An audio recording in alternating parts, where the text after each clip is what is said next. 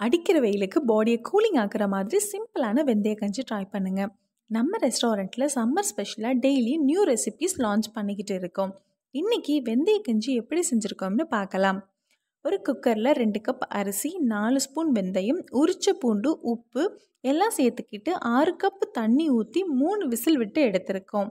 இப்போ நமக்கு தேவையான கன்சிஸ்டன்சிக்கு கோகனட் மில்க் ஊற்றி சால்ட்டும் செக் பண்ணிட்டா கஞ்சி ரெடி ஆயிடுச்சு.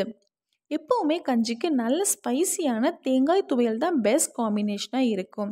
திருவண்ண தேங்காயோட காஞ்ச மிளகாய் கருவேப்பிலை உப்பும் சேர்த்து அரைச்சி எடுத்துக்கிட்டோம். உங்களோட ஃபேவரட் ட்ரெடிஷ்னல் ரெசிபிஸ் என்னங்கிறத கமெண்ட்டில் மென்ஷன் பண்ணுங்கள்